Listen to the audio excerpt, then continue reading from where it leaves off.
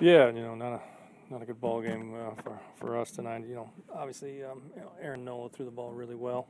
Uh, a good curveball going. We didn't get we had a couple chances, you know, in the sixth and the seventh inning uh, to put some numbers up against them. We just, you know, in those key at bats, we didn't we didn't get it done tonight. You know, didn't swing the bats uh, real well. We got to give give Nola credit. He, he did throw the ball uh, very well, and then you know.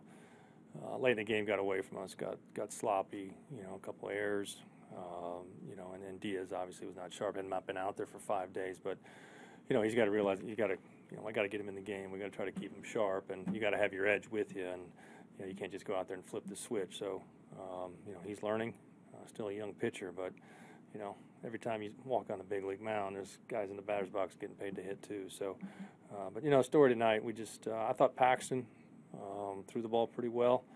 Um, you know, had the the one inning with the bases loaded and a couple sac flies, kind of worked through that, and the you know the, the home run on a, on a mistake, of all that, stayed in the middle of the plate uh, to put him down. But uh, you know, overall, I thought it was a pretty good outing.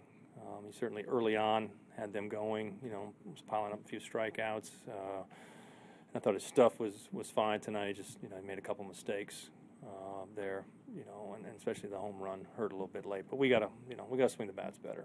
Um, as good as we were going here uh, early in the homestand. It has cooled off uh, in a hurry, and you know we'll get back after it tomorrow. Actually, looked like the, the curve seemed early seemed pretty effective.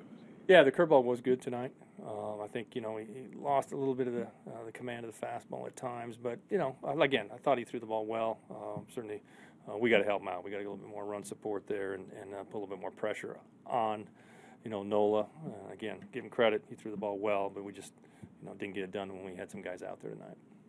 Last couple times out, late bullpen guys coming in, and we kind of have seen the same thing. We've seen some struggles. Is that just kind of repetition of use and kind of consistency of use, or is there something? Yeah, you but you know the, the use usage, you know, the ebb and flow of a season. You're going to have days when you know guys are going to, or stretches where guys aren't in the game, you know, for for three or four days, and you know the guys that has, has hurt obviously has been the young guys. It's been Diaz, uh, Pazos the other day struggled with it a little bit, but know, that's that's part of being a big league reliever. You've got to try to stay mentally sharp, and you can't let your edge down. And you know, I thought with Eddie tonight that was that was a bigger issue. I think stuff wise, you know, he was fine. You know, command what we're used to seeing there, but he didn't have the, the mental edge, and you have to have that every time you step on a big league mound. It's got that inning where you get runners first and third, no outs, and then Nelly strikes out for the third time, and Kyle Cook grounds out. What are you from well, like I said, you know, Nola executed very well. He had a very good curveball tonight. Uh, made pitches with his fastball when he when he had to. But you know, in those uh, situations, you know, we had the right guys up there. They usually do come through for us. They don't do it every night.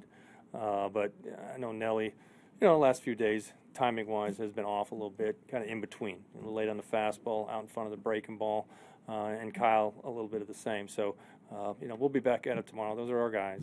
Those are the guys we want up there in those spots. Uh, they just didn't get it done tonight.